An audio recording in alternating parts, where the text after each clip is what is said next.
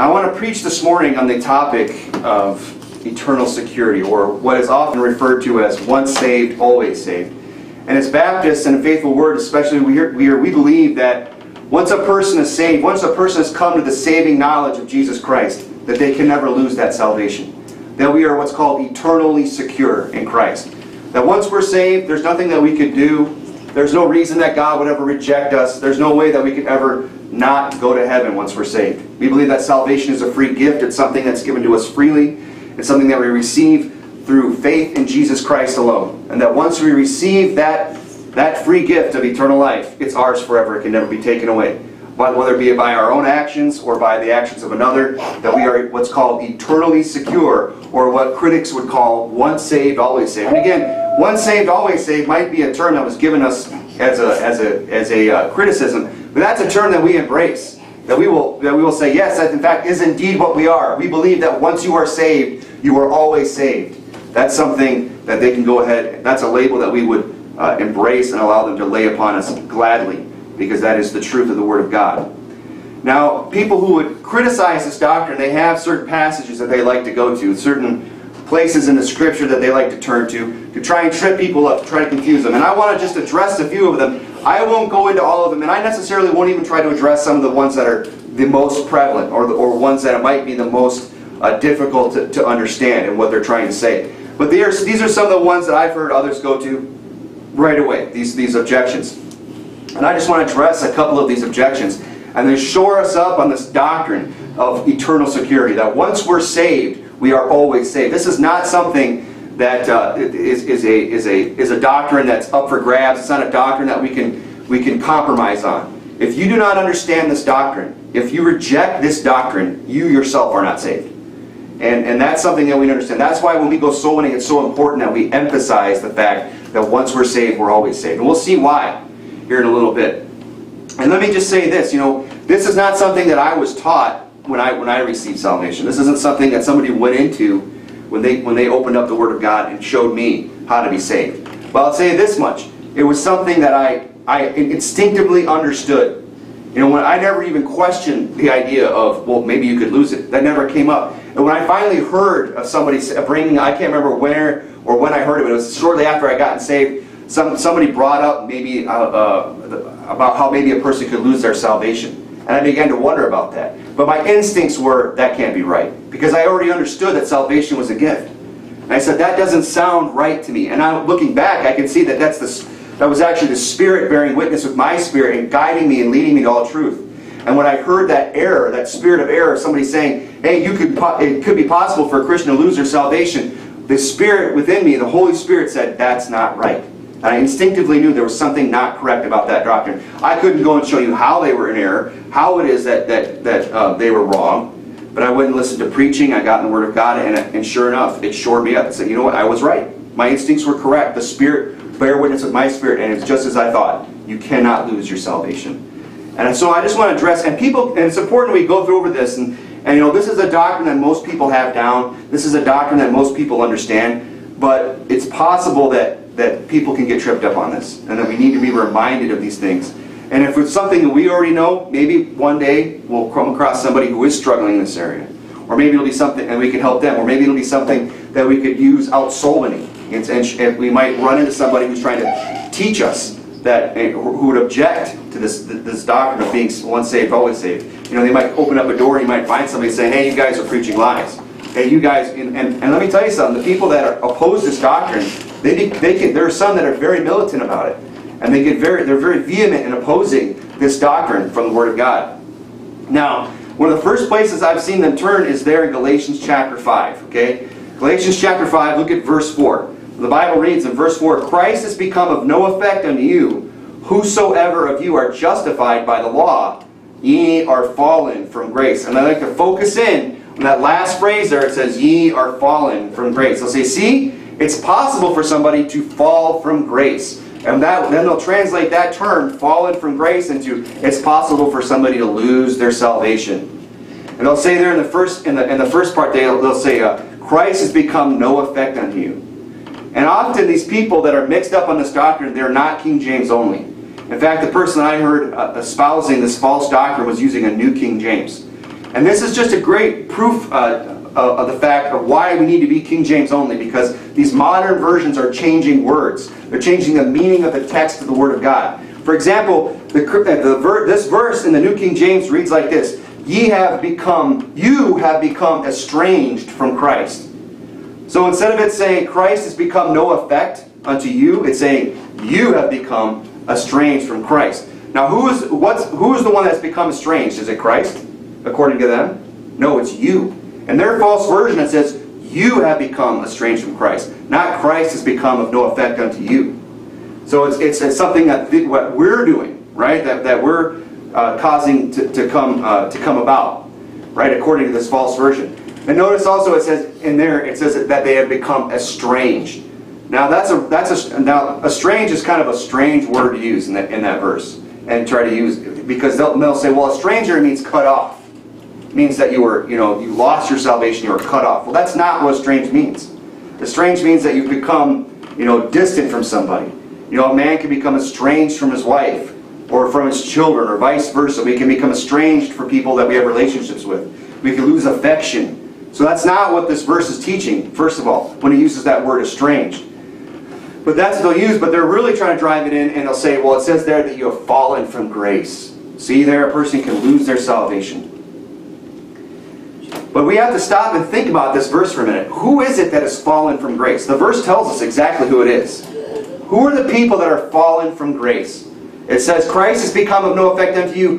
Whosoever of you are justified by the law, ye are fallen from grace. So if we're attempting to be justified by the law, yes, we are fallen from grace. And I want to point out the fact that it says ye are fallen from grace. Not you will fall from grace, that, that ye are fallen from grace. Why? Because you're trusting in the law and not in Christ. You're not trusting in the grace that is in Christ Jesus. So how is one justified by the law, right? How is one justified by the law? Well, by keeping the commandments, right? By living a good life, by doing the, the right thing, right? So it's ironic that these people turn to the very passage that condemns them and try to debunk this uh, and try to argue against this uh, doctrine of eternal security. They say they turn here and, they, and this, this verse condemns them. They're the ones who are trying to be justified by the law. They're the ones who are trying to keep the commandments. They'll say, oh yeah, you got to believe on Christ, but after that, man, you got to walk the walk, you got to be in the Bible, you got to be in church, you got to get baptized, you got to keep the commandments, you got to do all these works. You're trying to be justified by the law. And that's the person that's fallen from grace, not the person who believes that once you're saved, you're always saved. The person who is continually and always trusting in the shed blood of Jesus Christ is the person who is always saved. They're not trusting in themselves, not trusting in the law. They're not fallen from grace nor could they fall from grace. you see, the opponents of once saved, always saved, they are those that would justify themselves. Over to uh, Titus chapter 2. Keep a book there in the Galatians, but turn over to Titus chapter, chapter 2. Titus chapter 2. Titus, Titus chapter 2, beginning in verse 11, I'll read to you. Titus 2.11. For the grace of God that bringeth salvation hath appeared unto all men teaching us that denying ungodliness and worldly lust, we should live soberly, righteously, and godly in, in this present world. That doesn't say we must. It says the grace of God hath appeared unto all men that brings salvation, right? And what does it teach us? That denying ungodliness and worldly lust, we should live soberly. It doesn't say we must in order to receive that salvation. Looking for that blessed hope and the glorious appearing of our Lord, of our great God and our Savior Jesus Christ Verse 14, who gave himself for us that he might redeem us from all iniquity. From all iniquity. Meaning whatever iniquity you've, you've committed in the past and will in the future. Because here's the thing, we still have the flesh to deal with every single day. Our, our new man is, in, is inward. You know, the old man, the, the flesh, that we, we still dwell in this, in this, uh, in this vessel that's made of clay. You know, we, we're going to slip up. We have feet of clay. It's possible we're going to commit sin. That's why the grace of God is the fact that He died for, He redeemed us from all iniquity and purified unto Himself a peculiar people, zealous of good works. Okay? Look over at Titus chapter 3. Titus chapter 3, look at verse, uh, verse 3. For we ourselves also were sometimes foolish, disobedient, deceived, serving diverse lusts and pleasures, living in malice and envy, hateful and hating one another. But after that, the kindness and love of God our Savior toward man appeared, not by works of righteousness which, accord, uh, uh, which we have done, but according to His mercy He saved us. So it says that the kindness and love of God our Savior toward man appeared. How? Not by works of righteousness which we have done. We didn't bring about the kindness and love of God by our own works. It appeared by God's own grace. And it goes on and says, which not but not according to the works of righteousness which we have done, but according to his mercy. God was merciful to us. God was gracious toward us when the kindness and love of, our God, of God our Savior toward man appeared. It wasn't because we were so great that God decided to love us. Not by works of righteousness which we have done. You know, there's a comma there at the end of verse 4. So it's, it's showing us there, look, the reason God's love and grace toward man appeared, it's not because of our own good works. Why, how, but why is it? But according to his mercy. God was merciful when he sent the Savior. But according to his mercy, he saved us by the washing and the regeneration and renewing of the Holy Ghost, which shed, he shed on us abundantly through Jesus Christ our Savior, that being justified by his grace. We're justified by grace, we're not justified by the law. So if we're trying to keep the law, if we're trying to, to keep the law, then, we, then Christ, the, the grace of God is made of no effect unto us. Christ is of no effect. Because we're saying, I don't need the grace of God. I don't need the mercy of God. I'm going to keep the commandments. I'm going to be justified by the law.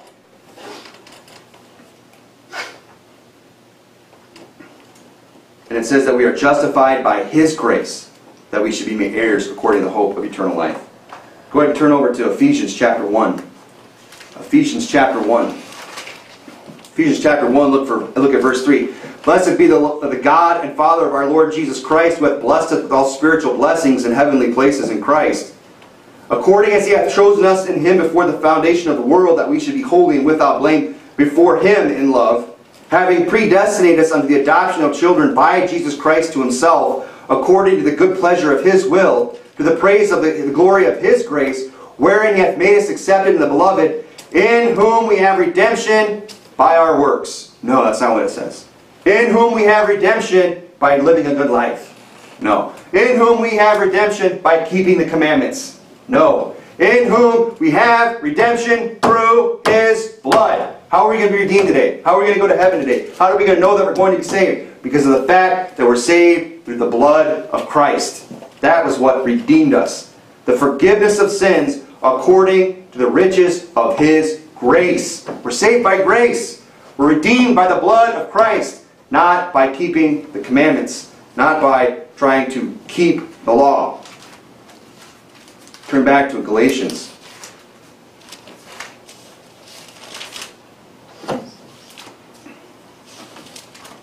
So if we're trying to justify ourselves by the law, then we say, you know what, I don't need the blood of Christ. The blood of Christ is insufficient for me. That's what you're saying when you're saying you're going to be justified by the law. You're saying that the precious blood of Christ is of no effect to you. It, does, it cannot purge you from all iniquity. It cannot save you from all of your sins. There's something that you have to do. See, these opponents of once saved, always saved, those that would tell you that it's not enough to just put your faith and trust in Christ alone, but that you also must live a good life. Or you must, as they like to say, not make a practice of sinning. They'll tell you that what they're really doing, they won't say this, but what they're really doing, they are those that would justify themselves. That's what they're trying to do.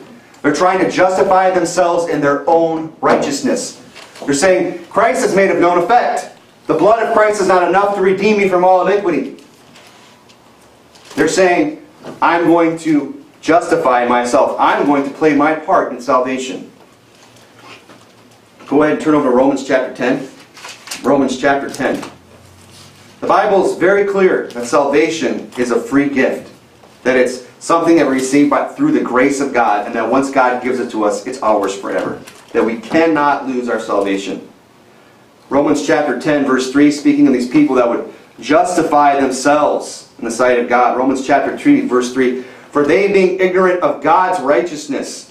When a person's going to tell you that the righteousness of Christ, that the shed blood of Christ was not enough to purge you from all iniquity, I'm going to tell you that that person is ignorant of God's righteousness. They're ignorant of the fact that Jesus Christ was the Son of God, perfect, the Lamb slain before the foundation of the world, who gave his own self for our sins. who bear our own sins in his body. Bible says that they are ignorant of God's righteousness and going about to establish their own righteousness. They want to establish their own righteousness before God. They say, God's righteousness is not enough for me. You could lose your salvation if you don't live the life, if you don't keep the commandments, if you sin. Therefore, I'm going to stop sinning. Therefore, I'm going to keep the law. Therefore, I am going to keep the commandments. I am going to be a good and noble and upright person, and I am going to establish my own righteousness in the face of God and deny his own righteousness. They have not submitted themselves under the righteousness of God. If you think that there is something you have to add to the, to the salvation, that you have to play a part beyond just believing and trusting in Christ that the Bible clearly teaches, then my friend, you are establishing your own righteousness in God, before God.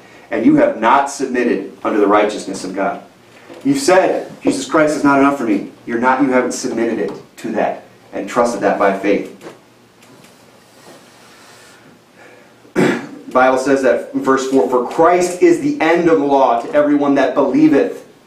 When you believe in Christ, when you put your trust in Him, the law is ended. It has no more power over you. For Moses describeth the righteousness which is of the law. The man which doeth those things shall live by them. Right? Did you keep your part in place in Galatians chapter 3? Turn back there if you would. So yeah, you can be saved by the law. It's true. You can keep the righteousness of the law. That's what Moses said. Reference back to Leviticus chapter 18. For Moses describeth the righteousness which is of the law. What did he say? The man which doeth those things shall live by them. Right? Galatians chapter 3, verse 11. But that no man is justified in the law by the law in the sight of God, it is and it is evident. No man is justified by the law in the sight of God. Why? Because the law condemns us. When the law came, sin revived and I died. The law is our schoolmaster to bring us unto Christ, unto Christ teaching us that we are sinners. We're condemned under the law. Bible says that no man is justified by the law in the sight of God. It is evident. For the just shall live by faith. Right? If we're going to live, we're going to live by faith. Trusting that God is going to provide some better way for us than the law. The Bible, and it goes on and says in verse 12, And the law is not of faith, but the man that doeth them shall live in them. You know, if you want to keep the law, guess what? You have to keep the whole law. You have to do it all. And you can't offend in one point. That's why it says in James chapter 2, for whosoever shall keep the whole law, and yet offended one point, he is guilty of all. So they that would establish their own righteousness, they that would not submit themselves to God's righteousness, but go about to establish their own, and keeping the law, they have to understand something, that they have to keep the whole law. That if you offend in one point, you're guilty of all. That's why the just shall live by faith and not by the works of the law. In Galatians, look at chapter 2. Galatians chapter 2, verse 16 knowing that a man is not justified by the works of the law. Well, I believed in Christ, but also, you know, I never committed adultery with my wife. I never drank. I was never a drunkard. I was I'm not a fornicator. Well, that's great, but you know what? You're not justified by the works of the law. I mean, is that what it takes? That's your minimum for getting into heaven? Not committing adultery, not committing murder, not being a drunken fornicator? Oh, good job, buddy. Nice work. That's a proud, ignorant, and arrogant statement knowing that a man is not justified by the works of the law. People that would say, go around saying, well, I'm justifying myself by the works of the law, they, that's, they are arrogant people. They're establishing their own righteousness. A man is not justified by the works of the law, but by the faith of Jesus Christ. Even we, even we have believed in Jesus Christ that we might be justified by the faith of Christ and not by the works of the law. By the works of the law shall no flesh be justified. And that's what these people, these critics of once saved, always saved are. That's exactly what they're doing. They are trying to justify themselves by the works of the law. They will pay lip service. They will say, oh yeah, you got to believe in Christ. But then they'll tag on something else. So, so oh, you received Christ, and that's, that's all by grace. But now you have to work to keep it. Now you have to work to not lose that. That's why they're opponents, that's their opponents of once saved, always saved. Because we believe, the Bible teaches, that once you're saved, there's nothing you have to do to keep it. It's you're sealed, you're redeemed, you're a new creature in Christ, it's once for all. Verse 17, But if while we seek to be justified by Christ, we, are, we ourselves are also found sinners, is therefore Christ the minister of sin? God forbid. For if I build again the things which I destroyed, I make myself a transgressor. For I through the law am dead to the law, that I might live unto God. I am crucified with Christ. Nevertheless I live, not I, yet not I, but Christ liveth in me, in the life which I now live in the flesh. I live by the faith of the Son of God, who loved me and gave himself from me for me. I do not frustrate the grace of God. He's like, I'm not going to cast shade on the grace of God. I'm not going to, you know, I'm not going to downplay the grace of God. I'm not. Go I'm going to submit myself to the righteousness which is of God. For if righteousness come by the law, then Christ is dead in vain. Look, if you can keep your own, if you can work your way to heaven, why did Christ even have to die? Why did he have to go to the cross and bear that humiliation, that pain, that agony? Why did his soul have to descend down into hell for three days and three nights? Why did he have to be forsaken of the Father? Why did he have to go through all that? Why? He's dead in vain. If, if keeping the laws what gets you to heaven, it's not what gets you to heaven. The law is what condemns you. For I, through the law, am dead to the law. So they'll say, yeah, we know, we trust that Jesus... They, will they'll tell you all the right things at the beginning. They'll say, yeah, you know, Jesus Christ died for your sins. Well, let me ask you something. How many sins did Christ die for? Just the sins that before you were saved? Or did he die for all of your sins? Did Christ just die for certain sins or a certain amount of sins or the sins during a certain time of your life? I mean, it's confusing. And these opponents of once saved, always saved, these people that would oppose us in this doctrine, they want to help Christ with their salvation. That's what they're doing. They're saying, oh, Jesus, uh, let me help you with that, getting me to heaven part. I'm glad you came to heaven. I'm glad you walked this earth as a man and, and, and went through the trials and temptations of, of, of, this earthly flesh and strove against sin unto blood. But uh, I'm sorry, unfortunately that wasn't enough. So here, let me help you. That's what they're trying to do. Like, yeah, thank you for dying for me on the cross. Now let me do my part to make sure that I, I can get to heaven. You did your part, Jesus. Let me do my part. That's, that's wicked, friend. Because what they're doing is they're, they're, they're, they're downgrading the power of God's grace and His blood and His forgiveness. Look at Colossians chapter 2. These people, they, they want to they want to help God with, with, with their salvation by not sinning. They want to say, oh, that's it. You know, once, once you're saved, you know, you won't sin anymore. And if you sin, you know, you, you've fallen from grace. Colossians chapter 2, verse 6. As you have therefore received Christ, Jesus Christ Lord, so walk ye in him. Now, let me ask you something right there. How did you receive Christ? By faith, right? So how are you to walk in him? By faith. Nothing changes. Rooted and built it up in him, established in the faith as you've been taught, abounding therein with thanksgiving. Beware lest any man spoil you through philosophy and vain deceit after the tradition of men, after the rudiments of the world, and not after Christ.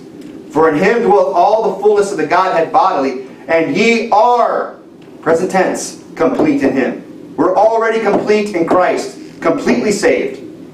We got everything we need to go to heaven, which is the head of all principality and power, in whom also ye are circumcised, the circumcision made without hands, and putting off the body of the sins of the flesh,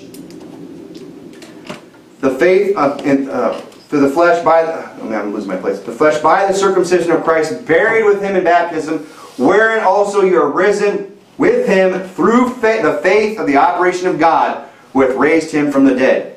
Verse 13. And you, being dead, were in your sins, and the uncircumcision of your flesh, hath he quickened together with him. How many sins did Jesus die for? Having forgiven you all trespasses. Right? All trespasses. All the sins I ever have committed, all the sins I'm going to commit today, all the sins I'm going to commit tomorrow, and the day after that, and the day after that, and the day after that, until I die.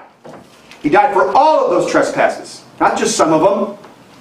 And the person that will tell you that Jesus Christ didn't die for all your sins is, bring, is, is doing disservice and is, is insulting the blood of Christ to say that his sins, what he went through, what he suffered, and his precious blood wasn't enough to forgive me from all trespasses. He's forgiven you all trespasses. all the sins you will ever commit. Because again, we're going to commit sin. Friend, the thought of foolishness is sin. So never think another foolish thought. And if you make a practice out of it, and believe me, there's plenty of you out there that do. Right? They make a practice of being foolish, saying foolish things, doing foolish things. They're practicing sin. You'll never make it. If, if us living a perfect life or living a good enough life were enough to get us to heaven, we would never make it. That's why Christ had to forgive us of all trespasses. All trespasses, past, present, future. Turn over to Hebrews chapter 10. Hebrews chapter 10. I'll read, I'll read to you from Hebrews chapter 10. Just turn to Acts 8. The Bible says in Hebrews 10, we are sanctified through the offering of the body of Jesus Christ. Amen. They even once saved, always saved people, they would say, Amen, we are sanctified by the body of Jesus Christ. But they forget about this next little phrase that's on there at the end. Once for all. He died for all of our sins, one time, for all of them. He's forgiven us all of our trespasses. After that, he had offered one sacrifice for sins forever and sat down on the right hand of God. He, he offered one sacrifice once for all and forgave us all trespasses. Friend, there's nothing I could do to lose my salvation. Not because I'm just wanting to go out and commit sin, because that's not why we teach this, so we can go live an immoral life. It's because that's what the Bible teaches. That Jesus Christ died for all of our trespasses and died for all of our sins. That's how we can know we're saved once for all. Because, God, because Christ died once for all. We'll move on to the next objection there. It's in Acts chapter 8.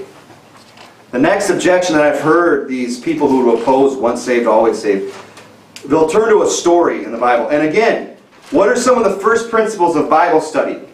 Okay, first of all, we should be very careful when we're just reading a story to get our doctrine. Stories, when the Bible just tells us a story, that doesn't mean necessarily everything that was done in that story was correct. We have to use discretion and discernment, and we have to make sure we're understanding correctly. That's one of the first principles of Bible study. Okay? Be careful when you're, when you're dealing with someone who's getting their doctrine from a story. They're saying, well, this is what happened in the Bible. Well, yes, that's what happened. Bible teaches us a lot of things that happened. It doesn't mean that that's what we're supposed to do or base our doctrine on. Acts chapter 8. We'll begin in, uh, in verse 9. Of course, and this is when, uh, when Saul comes into the city and uh, there was, it says in verse 9, there was a certain man called Simon, which before time in the same city used sorcery and bewitched the people of Samaria, giving out that himself was some great one. Okay? And to, and to him they had regard because that of long time he had bewitched them with sorceries. But when they believed Philip, when they but when they believed Philip's pre, Philip preaching the things concerning the kingdom of God, and the name of Jesus Christ, they were baptized, both of them, excuse me, both men and women. Verse 13 is important. Now again, principle of Bible study. Who's speaking here? The narrator? Okay, the, the, the person through whom the Holy Spirit is speaking? Okay? Or is it what is it the narrator's telling you what somebody said? No, it's the narrator that's telling you what happened, not saying what somebody said. Okay? It says there, then Simon himself believed also. Now, what does a person have to do to, to be saved? Believe on the Lord Jesus Christ, and thou shalt be saved. For whoso shall believe in their heart and confess with their mouth shall be saved. Right? So Simon here, it's the, the narrator of the scripture is saying that Simon himself believed also. It doesn't say that Simon feigned this belief. It doesn't say, say that Simon you know, decided to go along with the crowd. It says that Simon himself believed. Also, I believe that Simon the sorcerer got saved. That he was a saved man at this point in Scripture. And remained saved. And when he was baptized, he continued with Philip and wondered. So Philip was convinced enough of the fact that this guy was saved that he went ahead and baptized him. I mean, I would hope that when we're baptizing people, we're checking out their salvation to some minimal degree, which isn't hard to do. Hey, what's a person got to go to heaven? Hey, once he got it, can you ever lose it? It's not that hard to check somebody out. So, so Philip was convinced enough that he went ahead and baptized this guy. Well, it doesn't say he baptized him, but we can assume that he continued with Philip. You know, minor detail, but he was baptized. And wondered, beholding the miracles and signs which were done. So he continues with Philip, and he sees Philip doing all these great miracles, all these great wonders. Now, there were certain things that only apostles could do, certain signs that would follow the apostles. Okay? And that's what he's beholding, these great miracles and these signs which were done. Now, when the apostles which at Jerusalem heard that Samaria had received the word of God, they sent unto them Peter and John, who, when they were come down, prayed for them that they might receive the Holy Ghost. For as yet the, uh, he was fallen upon none of them, only they were baptized in the name of the Lord Jesus.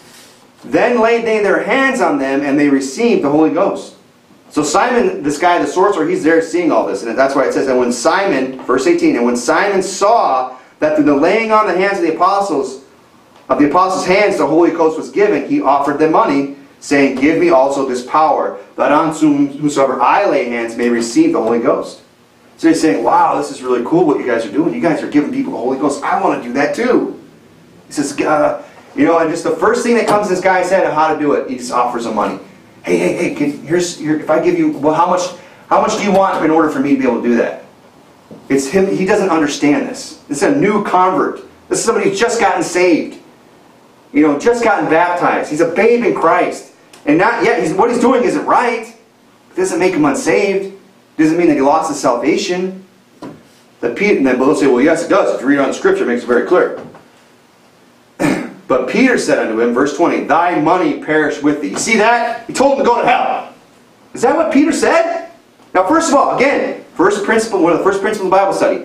Who said that? The narrator, or, or they tell? Is that the narrator, the Holy Ghost speaking, or is that the narrator, the Holy Ghost, Holy Ghost telling us what Peter said?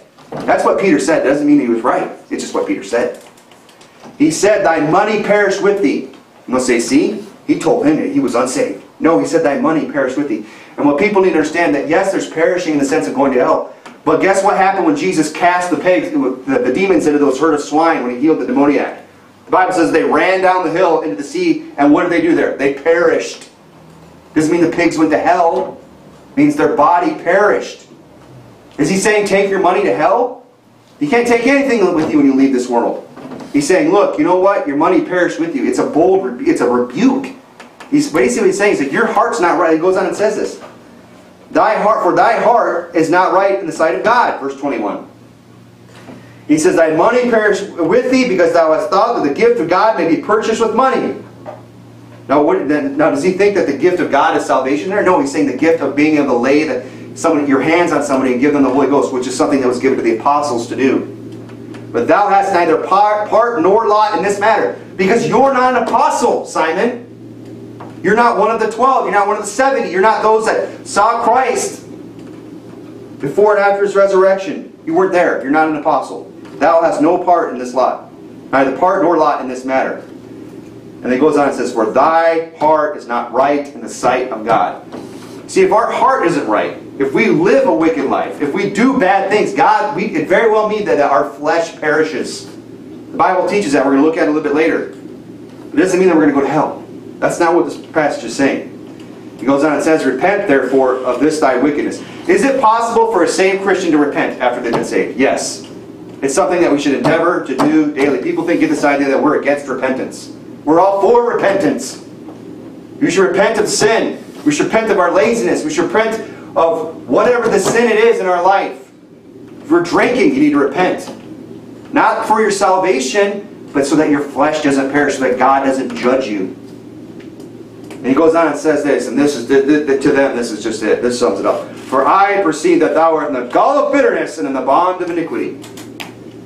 Now, does that say, is that Peter saying, I perceive that thou art not saved? Is that what Peter said? No. And again, remember, it's Peter speaking. And I believe Peter was right that this guy was in the gall of bitterness. But why was he in the gall of bitterness?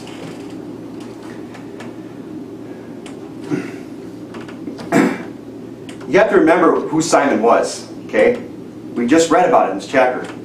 Simon, verse 9, there was a certain man called Simon before time in the same city used sorcery and bewitched the people of Samaria, giving out himself was that himself was some great one. So you have to remember that Simon was a guy who in the eyes of the people had a lot of power. He was very lifted up in the eyes of the people. He was perceived as a great one. That's why it says in verse 10, to whom they all gave heed, from the least even to the greatest. Even the, you know, the, the, the lowly, whatever, the lowly guy. Even unto like, you know, the, the people in the city council. From the garbage man to the mayor, they all said, this man is the great power of God. That's the prestige. That's the persona. That's what Simon had when he got saved. And these guys come to town, these apostles, and they start laying hands on the Holy, and giving, and people are getting saved. They're saying, yeah, forget about Simon. We believe these guys. And they're forgetting about Simon. And Simon sees all these people go and get saved and get baptized. And he's losing all of his prestige. And he's no longer this great one. He's no longer the great power of God anymore. Now he's just another guy. Just like them. And that's and you know what? It could very well be, whether he knew it or not, but Peter was able to perceive, look, the reason you want to be able to do what we're doing is because you, you're in the gall of bitterness. You are envious of what we're doing. Whether he he gets pride, perceive that thou, thy heart is not right in the sight of God. Oh yeah, give me, give me this power that I might put my hands on those that they receive the Holy Ghost. That seems well intentioned, Simon. That all you care about doing is going on and giving others the power of the Holy Ghost. But if we consider who Simon was, what he was used to, really people, he probably wanted to get some of that prestige back. Oh, you want the power of the Holy Ghost? You should go see Simon. All he's got to do is put his hands on you, and you'll receive the power of the Holy Ghost. So that's the bitterness that he's in. This envying, this strife. He's bitter. Whether he knows it or not yet. That's why, that's why Peter says, I perceive that thou art in the gall of bitterness. Because he used to be the great one. He used to be the one that was considered the great power of God among these people. So, is that possible for us to fall into that same sin as Simon? The, salt, the sin of bitterness? That's the sin there, right? Is bitterness enough to make you lose your salvation? Let me tell you something. We all better watch it because, you know, it's probably going to happen to every single one of us. We are all capable of sin, even as saved people. And guess what? We are going to commit sin. And that's why we're admonished to behave otherwise. That's why we're specifically told not to become bitter. Ephesians 4 says, Let no corrupt communication proceed out of your mouth, but that which is good use of edifying, that it may minister grace unto the hearers. And grieve not the Holy Spirit of God, whereby ye are sealed unto the day of redemption. Sealed unto the day of redemption, let all bitterness and anger and clamor and evil speaking be put away from you. Be kind, tenderhearted, forgiving. If, if, if when we get saved, all bitterness is automatically put away. If we can never again be in the gall of bitterness, then why are we being admonished to not be bitter here? Why is Paul writing these people saying, look, put away all bitterness. Don't be bitter. That's what Simon's problem was. He wanted that he was bitter of what he had lost. Whether he knew it not, or whether he would realize it yet or not. He might have not even known it. But Peter was able to see it. He said, Look, you're in the gall of bitterness because you've lost your former prestige and you want it back. He didn't say you're not saved. He didn't say take your money and go to hell. He's saying, Look, you better watch out. God's going to judge you in this life, and your flesh can perish in this life.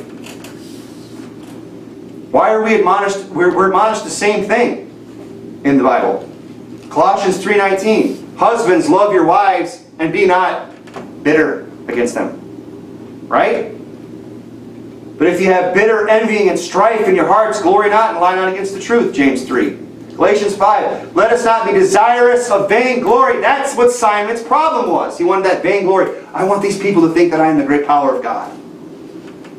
Provoking one another, envying one another. I'm so envious of these apostles that came and swayed these people away from me. They no longer think I'm some great one because of these apostles.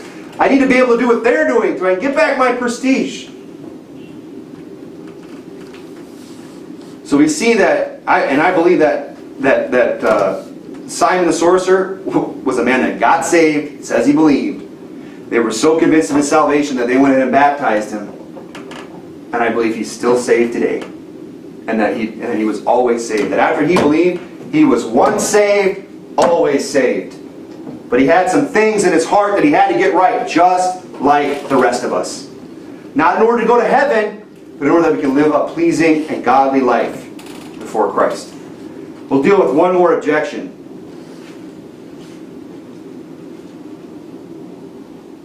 One more objection. They'll say that we should be diligent not to sin and, and to lose our salvation according to 2 Peter chapter 1 verse 10. They'll quote this. It says, Wherefore the, wherefore the rather, brethren, give diligence to make your calling and election sure, for if ye do these things, ye shall never fall. Right? They're saying, look, you need to you need to make sure you do all these things in the Bible so that you never fall. Because if you don't do these things in the Bible, you're going to fall. You're going to fall from grace. You're going to lose your salvation. But what is Paul really talking about in the context of this scripture? What Paul is doing is he is admonishing them to receive a full reward.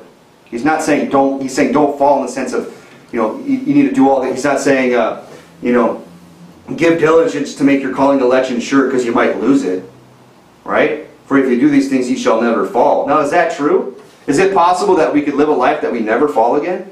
Yeah, but are we going to? No. That we never fall, that we never commit a sin? It's possible, but highly unlikely. Unlikely. That's why we have to go to God continually to get our hearts right. Not for salvation, but that we can have that fellowship with God. Okay? In this world, fellowship here with God. Notice in verse 10, 1 Peter, if you're there in 1 Peter, 2 Peter, excuse me, 2 Peter 1. Look at verse 10. I want you to notice something about the end of verse 10. It ends with a colon. Okay, it's not a period, meaning the thought is continuing. He's saying if you continue, make your calling and election sure, for if you do these things, ye shall never fall. For so an entrance shall be ministered unto you abundantly unto the everlasting kingdom of our, of our Lord Savior Jesus Christ.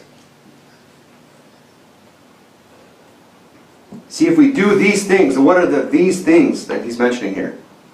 Look at verse 4.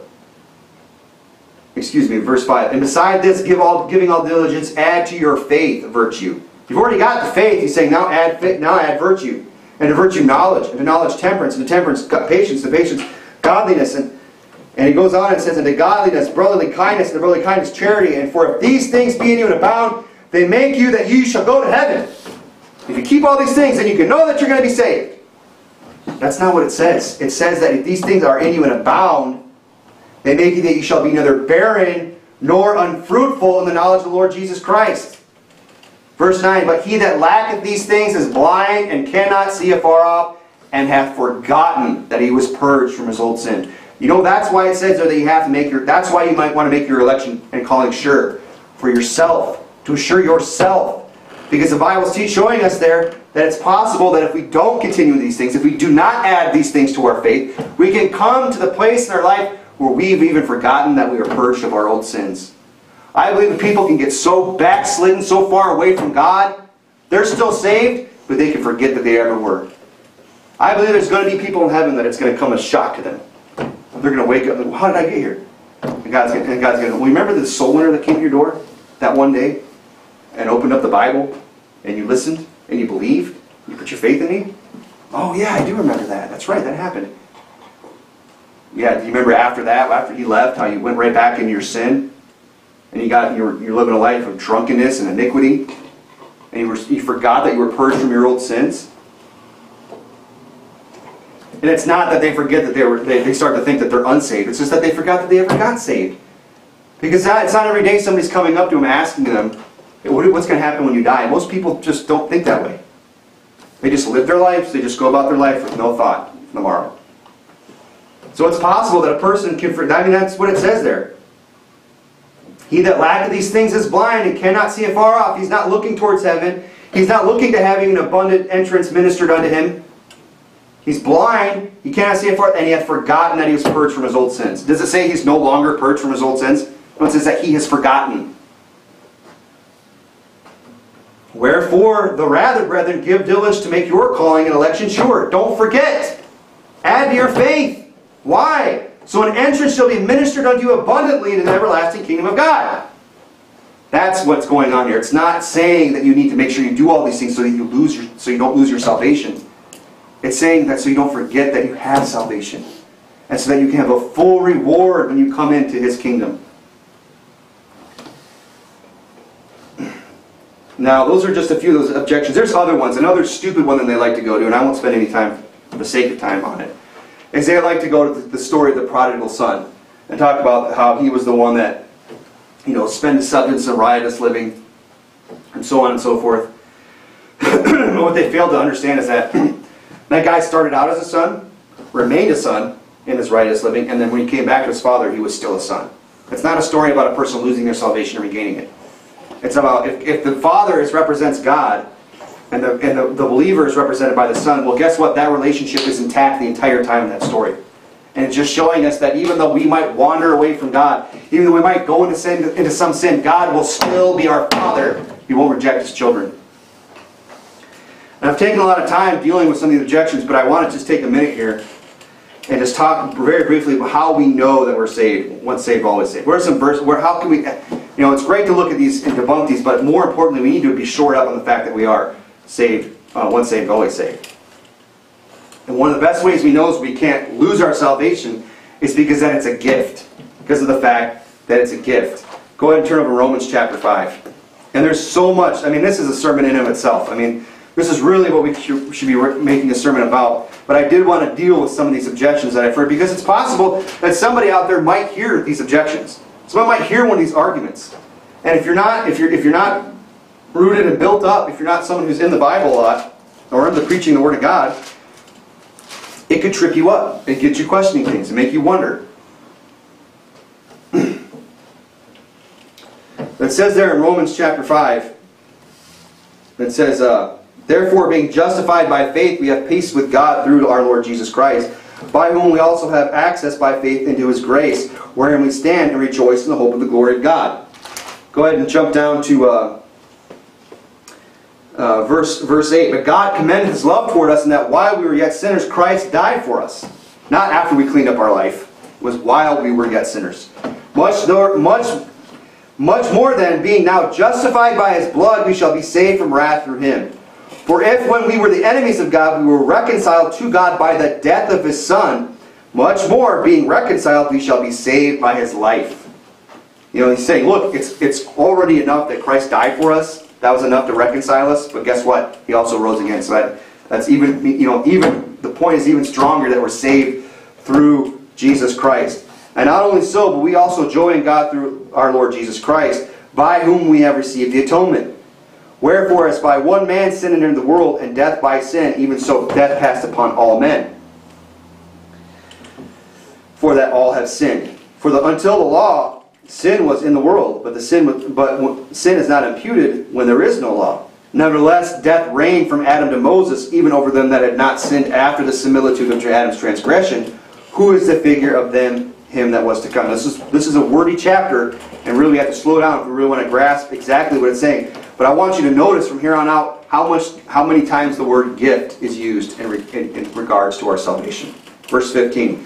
But not as the offense, so also is the free gift. For if through the offense of one many be dead, much more the grace of God and the gift by grace. It's a gift. Which is by one man, Jesus Christ, hath abounded unto many. And not as it was by one that sinned, so is the gift.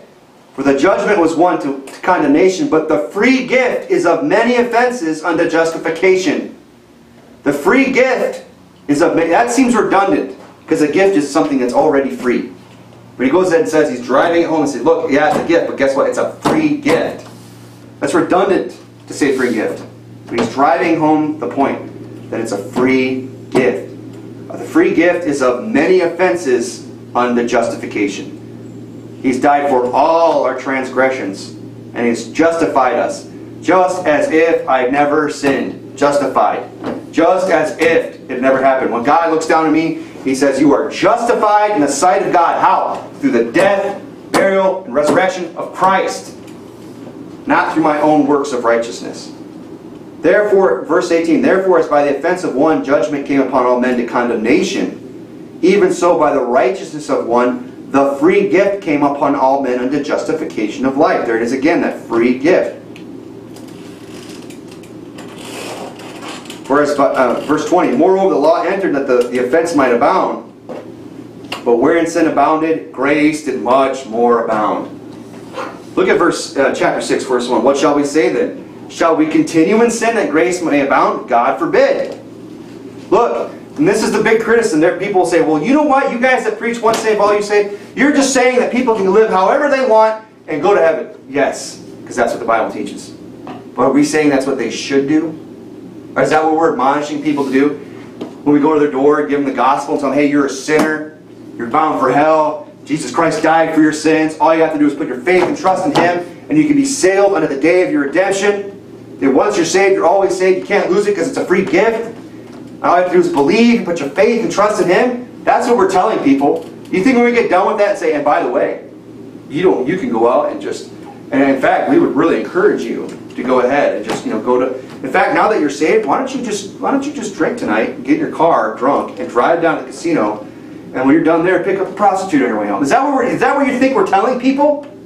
That we're admonishing them to go out and sin? Just because they're saved and they can't lose it? No.